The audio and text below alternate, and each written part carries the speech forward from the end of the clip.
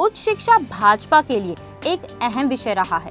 तभी तो छात्रों के हितों को ध्यान में रखते हुए भाजपा दिल्ली प्रदेश अध्यक्ष श्री विजय गोयल ने उच्च शिक्षा विजन डॉक्यूमेंट जारी किया है। बारहवीं पास दिल्ली के छात्रों के लिए दिल्ली विश्वविद्यालय के कट ऑफ़ में दो से चार प्रतिशत तक की छूट की मांग की। इस प्रस्ताव का उद्देश्य है कि दिल्ली के उन लाखों माता पिताओं को राहत दी जा सके जिनके बच्चे दिल्ली में दाखिला नहीं ले पाते और जिन्हें अध्ययन के लिए बाहर के राज्यों में जाना पड़ता है और निजी कॉलेजों में मोटी फ़ीस चुकानी पड़ती है। साथ ही निजी आवासों में असुरक्षित माहौल में रहना भी पड़ता है।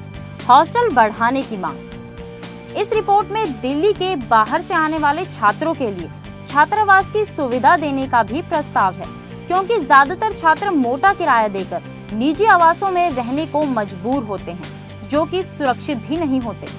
ऑनलाइन यूनिवर्सिटी भाजपा ये भी चाहती है कि दिल्ली विश्वविद्यालयों में एक नई ऑनलाइन यूनिवर्सिटी खोली जाए क्योंकि ऑनलाइन शिक्षा पूरे विश्व में उच्च शिक्षा प्राप्त करने के लिए सबसे सुविधाजनक माध्यम है। महाविद्यालयों की शाखाएँ। दिल्ली विश्वविद्यालय के प्रतिष्ठित महाविद्यालय जैसे कि saint Stephens SRCC, LSR, Hindu college पड़ोसी राज्यों में अपनी शाखाएँ खोलने की भी मांग की है। जिससे कि छात्रों को अपने ही शहर में अधिक अवसर मिलेंगे। इवनिंग क्लासेस की शुरुआत। भाजपा द्वारा सत्ता में आने के बाद जो कदम तुरंत उठाया जाएगा, वो होगा दिल्ली विश्वविद्यालयों में सुबह की क्लासेस के बाद। शाम की क्लासेस भी शुरू की जाएँगी। उच्च शिक्षा भाजपा के लिए एक अहम विषय रहा है। तभी तो भाजपा ने जून के पहले सप्ताह में दिल्ली विश्वविद्यालय में आवेदन करने वाले छात्रों के लिए एडमिशन हेल्पलाइन शुरू की।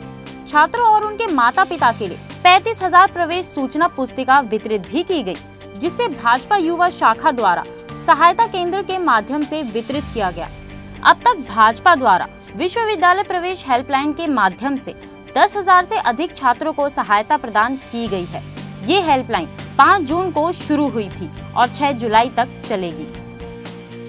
भाजपा उन्नीस सौ सतानवे में जब सत्ता में थी, तब भारतीय जनता पार्टी ने 15 नए कॉलेजेस की स्थापना की थी, जिसमें से गुरु गोविंद सिंह इंद्रप्रस्थ विश्वविद्यालय भी एक है, जिसका लाभ हज़ारों छात्रों को हो रहा था, पर कांग्रेस इसे आगे बढ़ाने में नाकाम रही। हर साल दिल्ली में बारहवीं पास करने वाले छात्रों की संख्या दो लाख है, पर दिल्ली कांग्रेस सरकार सीटों की संख्या में वृद्धि करने में असफल रही है।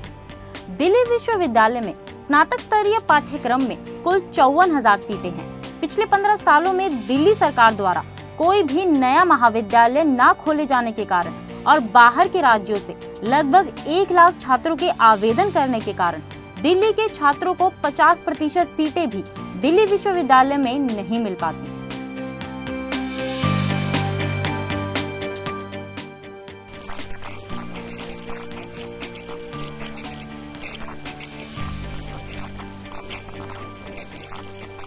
すいません。